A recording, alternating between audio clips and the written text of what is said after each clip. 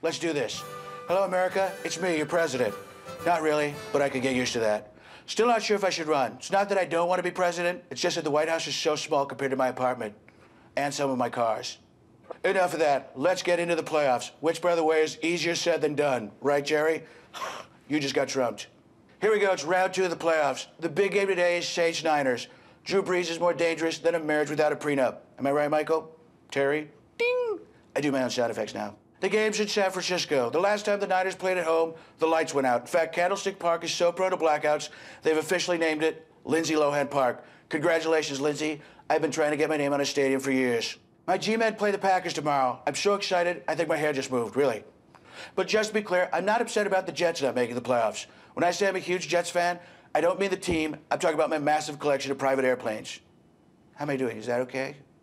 It's not good, Frank. Quite frankly, it's not even close to luxurious or extravagant. That's it. It's Tebow time. What? The first three quarters of this sketch were pitiful and boring, but the end is going to be the most luxurious, incredible, and exciting quarter anywhere in the world. That's right, I'm taking over. Tebow time equals Trump time. Don't tell me. That's right. I've unofficially bought the term Tebow time.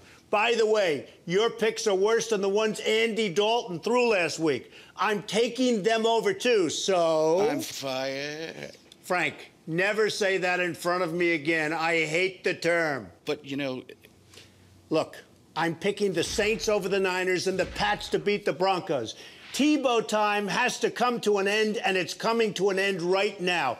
And also, the Ravens in tomorrow's game, I'm picking them too. Okay, now let me throw it back to a group of guys who would be great on future episodes of The Celebrity Apprentice. even Curt? Who's Curt?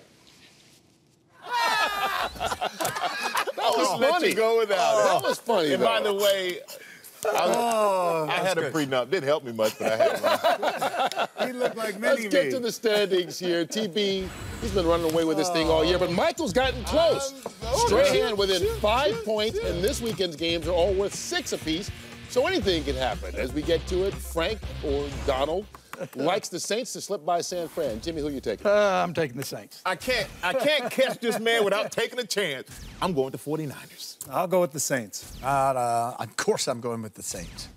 all right. Of course. Of course. I'm a Louisiana boy. Oh. Last week, Gillum. everybody went against Tim Tebow. People on Twitter said, please pick against them this week and against their team because they know every time that you pick their team, it Not a doesn't problem. work. Patriots. So across the board, everybody's going to Patriots here today. Yep. We'll do once our again. Then we get Baltimore tomorrow hosting Houston. Anything different, Jimmy? I'm taking Baltimore. I'm, I'm, I'm, Bal- I'm a Houston boy, but I have to go with Baltimore. Ravens in a rare home playoff game. Baltimore. So basically, Denver against Houston in the AFC Championship. Write it down right now.